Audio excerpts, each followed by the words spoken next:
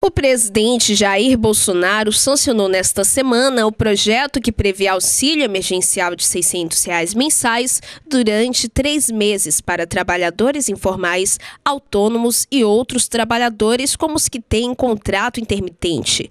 O projeto que prevê auxílio emergencial de 600 reais mensais durante três meses foi ampliado após votação no Senado ainda na segunda-feira. Além dos trabalhadores informais e micro empreendedores individuais, pessoas que recebem o Bolsa Família ou que têm o seu cadastro atualizado, mas não recebem o benefício, terão direito ao auxílio emergencial.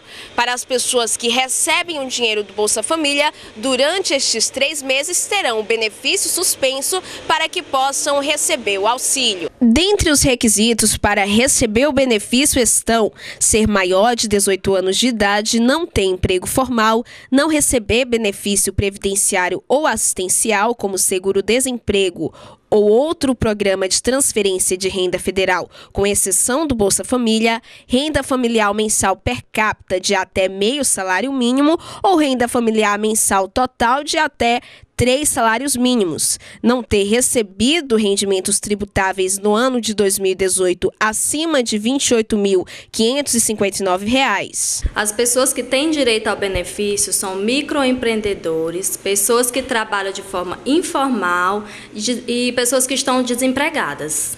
A orientação que a gente está tendo do governo até agora é que os beneficiários do Bolsa Família serão os primeiros a receberem esse auxílio emergencial.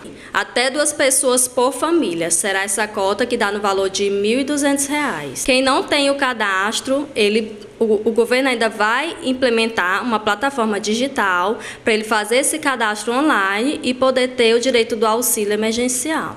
O governo ainda vai divulgar o calendário de pagamento. As pessoas que recebem Bolsa Família serão as primeiras. A segunda cota será para pessoas que têm o cadastro único, porém não recebem o Bolsa Família.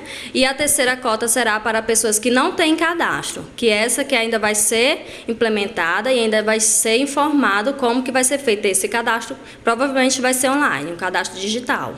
Por quê? O governo ele pegou os dados do cadastro único. Pessoas que têm um cadastro e atualizaram até o dia 20 de março serão os que vão entrar e vão receber esse auxílio. Pessoas que fizeram o cadastro após o dia 20 de março, o governo já não vai contar. Da mesma forma, acontecerá com os trabalhadores informais e microempreendedores individuais? Não, já esse já vai entrar na terceira cota, que eles já vão poder fazer o seu cadastro digital, que o governo ainda vai divulgar como que será feito.